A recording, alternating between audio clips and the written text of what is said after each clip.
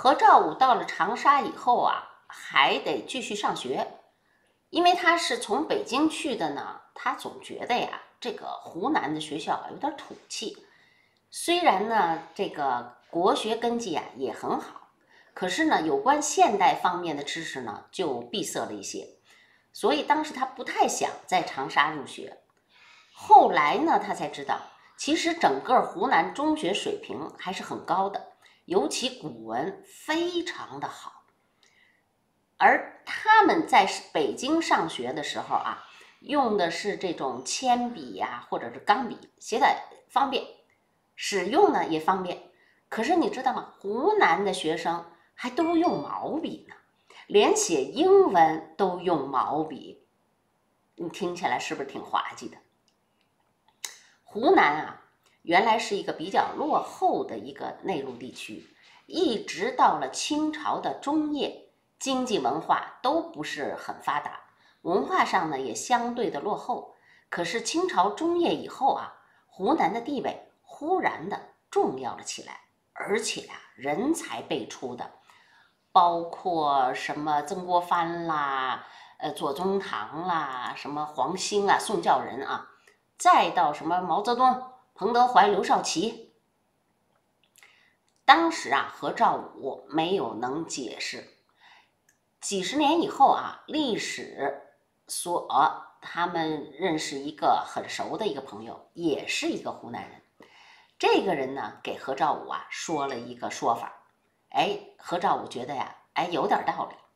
他说呢，这个太平天国以前啊，中国主要的这个南北交通线是走江西，完了下赣江、九江，从南京走这个大运河到北京的。可是后来呢，就因为太平天国，使得这场这个这条路呢给断了，那陆路呢就得走湖南了，所以湖南的经济哎就跟着这个交通的发展繁荣起来了。还有一个原因呢，就是这个太平天国的主力军是湘军，湖南人。而且呢，主要战场就是在江南一带，那是中国经济文化最发达的地区。这湘军一去呢，不但掠得了大量的财富，还把大量的图书和文物也弄到了湖南。于是湖南一下子就有了发展的条件了。很多湖南人啊，一下子就变成了政治上，哎，这个重要人物了。湖南的这个政治地位和以前也就不同了。总的来说啊，文化总是跟着政治经济走的，一直到今天都是。你比如吧，二十世纪初就有很多的诺贝尔奖是英国人、德国人的，可是今天呢，大多都是美国人的了。抗日战争以前啊，湖南的这个中学水平是很不错的。但是只有一所湖南大学，所以湖南的这个中学生毕业以后，如果他要上大学的话，近的就得到那个北边去上那个武汉大学，所以武汉大学的这个湖南籍的学生占了第一位，湖北学生反倒占到了第二位。要不然呢，就是得往南走到广东呢去上那个中山大学，那里头呢。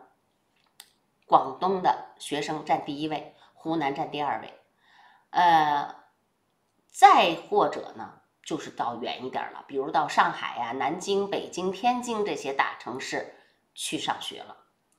年轻的时候啊，何兆武对这些不太了解，虽然呢，他也考了上长沙的那个高中，可是呢，他不愿意去上。恰巧呢，南京的中央大学附中搬到了长沙。那时候呢，国民党政府啊是有意的要把这个中央大学建成一个全国最大的大学，所以啊，这个院系设置呢特别的齐全，呃，什什什么包括那个美术系呀、音乐系呀、体育系呀都有，而他的附中呢水平也相当的不错，这教师都是中央大学出身的。上海、南京被日本攻占了以后呢，这中央大学就迁到了重庆，而附中呢就迁到了长沙，就在湖南大学的南边。当时何兆武的姐姐啊就跟何兆武说：“中央大学附中啊，在南方可是非常好的学校。”所以呢，何兆武就改上了这个学校。解放以后，中央大学呢改成了南京大学。工学院、医学院和师范学院，呃，后来也都独立出来了。附中呢是跟着师范学院走了，变成了今天的南京师大附中。所以啊，何兆武上的两个中学是南北两个师大的附中。他们啊，当时是先在这个长沙读了一年。到了一九三八年秋天的时候呢，日本人又开始进攻武汉了。这时候呢，这个中大附中又从长沙又咚咚咚搬到了这个贵阳去了。后来听说呢，日本人还没打到武汉呢，中国人啊一把火自己先把长沙给烧了。这一招是跟这个莫斯科学的。拿破仑打来的时候啊，莫斯科就是一把大火把自己给烧了。结果呢，拿破仑进来了以后啊，是一座空城，吃的喝的全没有，在莫斯科待不下去，就又撤退了。所以当时啊，中国呢就想学莫斯科，兼并清野，让日本人啊来了一个一无所获。其实啊，这是万不得已才用的办法。国民党当局啊。真的操之过急了，日本人还没来呢，先一整一把火把整个城都给烧了，这个让自己受到了一个不应有的巨大损失。北洋时期学校里边啊，那时候没有什么意识形态的统治，可是到了国民党时期呢，就开始推行这个党化运动了。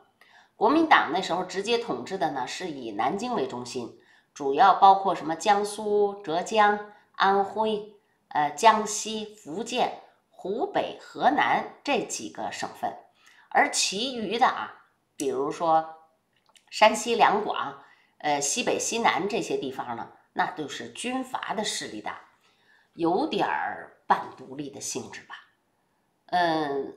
在那些军阀统治的地方呢，那党化的教育就要少许多，而北京啊，可能真的是因为地位特殊，思想意识呢，这个控制力量啊也很小。当时这个中大附中就是个非常不错的一个学校，可是呢，他是在这个国民党的直接控制之下的。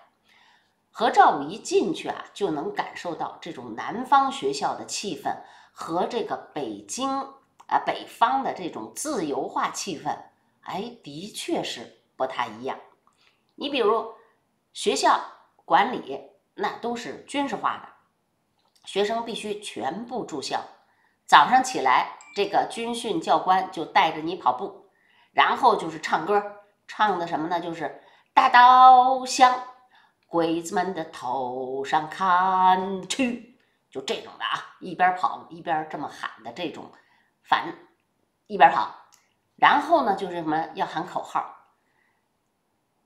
他记得最清楚的啊，就是最后一个口号必须就是“蒋委员长万岁”。晚自习以后也是要排队点名儿、唱歌。完了以后，再接着 喊口号，喊完口号以后才熄灯睡觉。什么时候起床都没人管，不是，就是他这个不是，就是都是全部是军事化的啊。起床肯定有人管，在北京是不是这样的？就是比如啊，你在北京，他也住校，也军训。但是啊，你什么时候睡觉啊？什么时候起床？没人管。吃饭的时候呢，也不用排队。可是到了南方啊，他就跟部队一样的，管得特别严。对于像何兆武这样的啊，自由散漫惯了的，哎呦，特别的不习惯。当时他们那时候啊，有一个叫训育，就是训练的训，呃，教育的育，训育主任，有点像这个咱们叫什么教务主任，哈。这种人是干嘛的呢？专门负责学生的政治和品德工作的，呃，大致相当于解放后的政治辅导员。其实还不是，这个我们后来就叫教导主任。对，教导主任。你比如说你犯了错误了啊，他不是说校长去给你弄的，这办办班主任直接给你提了到教务主任那儿去。由教务主任来决定你这个学生最后受到的是什么样的处罚。我们再回来说何兆武，何兆武他们有一次啊，他们的这个呃训育主任从重庆回来了，说是见了这个罗校长了。当时呢，他们那个罗校长就是中央大学校的那个校长罗家伦。哎，嗯，这个罗家伦啊。就是当时他们的校长，北京师大附中也是这样，师范大学校长那就是附中的校长，他是这样的。然后呢，这个附中里边啊有一个主任，这个主任呢又相当于中学校长，他等于就是我这个大学，我这个校长。管着这个大学，还管一附中，但是附中呢，我给你设的不是校长，是一个主任。这个主任其实就是这个附中的校长。这训育主任呢，就回来以后啊，就给他们讲话，说啊，我在重庆的时候，我见了罗校长了，我请示了罗校长对这个中学的意见。罗校长就说了，我希望你们办成一个真正的三民主义的学校。这话吧，也许低年级的同学不太懂，哎，呃，就不要问了。可是你高年级的学生应该是懂的吧？哎，那意思就是说什么呢？就是怕学生左倾，怕学生啊搞民主、闹革命。还一件事呢，就挺有意思的，就是那个时候啊，每星期一的早晨。都要做一个纪念周，上来呢就是要背诵这个总理遗嘱，就是孙总理啊，有点像文革的时候啊，每天要背的那个再版前言，一般都是校长带着背。有一次呢，他们这个校长没在，这训育主任呢就领着他们背，可是可是他背到半截儿啊，他自己忘词儿了。结结巴巴的，他背不下去了，闹得他自己呀都特别的尴尬。后来何兆武听他一个同学说啊，南京官场里的那些人，每到星期一的早上，也还都得先在家里边把这个总理的遗嘱要背熟了，因为什么呀？怕到时候忘了词儿，你知道吗？你尴尬了，你那好家伙，你你你在官场，你做官的。你吃这个官饭的，你都背不下来，那哪行啊？不过好在呢，那篇文啊，它不太长，背起来呢也容易。你想啊，何兆武他们从小学就开始背了，一直背到了中学毕业呀，早就滚瓜烂熟了。所以啊，何兆武说啊，我现在都七八十岁了。我现在还背得了呢，我一个字儿都不会错。不过呢，总的来说啊，国民党当时的那种思想控制呢，并不是很严格，同学之间呢还是很开放的。记得当时啊，有个同学就问他：“哎，你是赞成左呀，还是赞成右啊？”何兆武说：“我赞成左。”如果啊。呃，意识形态控制严格的话，那何兆武说的这句话可就算是犯罪了。嗯，国民党有时候啊也抓人，可是很多呀，他事先就通气儿让他跑了。记得高二的时候啊，有一次这个作文，这个何兆武呢就在里边写，这社会的进步啊也有它的规律，要经历什么奴隶社会、封建社会这个五个阶段。他这段这是什么意思？这就是当时啊《进步书刊》里边介绍的那种新思想。他是刚从这个上海生活书店的那个杂志里边读到的，而且啊，对这个什么全世界都走入都要走入这个社会主义这一点啊，何兆武那绝对的是深信不疑的。于是呢，他在作文里边就加入了这一段，写了这么一篇文。按理说呢，那时候的标准啊，你必须是应该讲孙中山的三民主义的。而你现在，你把社会发展五个阶段的这东西搬出来，你当然就是离经叛道的了。可是呢，老师并没有驳斥，或者呢对何兆武进行什么思想教育之类的啊。呃，一方面啊，是那时候管的真的不是很严；另一方面啊，呃，国民党啊，他虽然打着是什么三民主义的旗帜啊。实际上，他真的是讲的一套，做的呀，呃，是另一套。他也不是真正的三民主义，所以啊，他对这个意识形态的这些东西啊，并不真正的感兴趣。何兆武说啊，说我到现在我老了，我理解这个五种生活方式，马克思确实提到过。但是呢，马克思啊，并没有把它作为一个普遍的必然规律，而只是作为了一个经验的事实，就是它是西方历史经历的事实。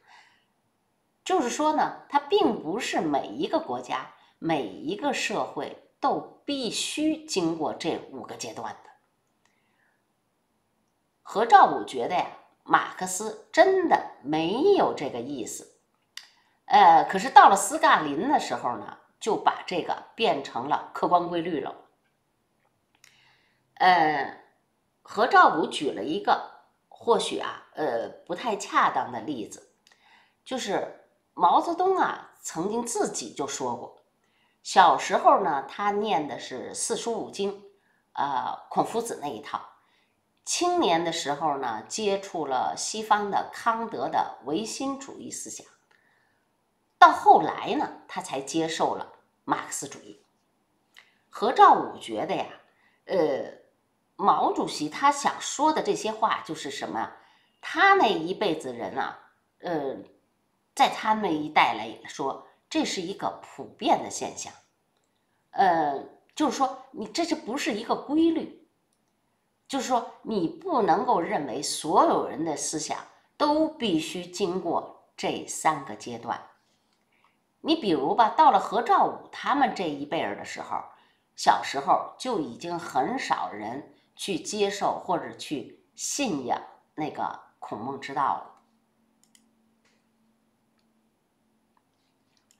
好，呃，今天我们先讲到这儿，下期呢我们讲讲他们的教科书，下期见。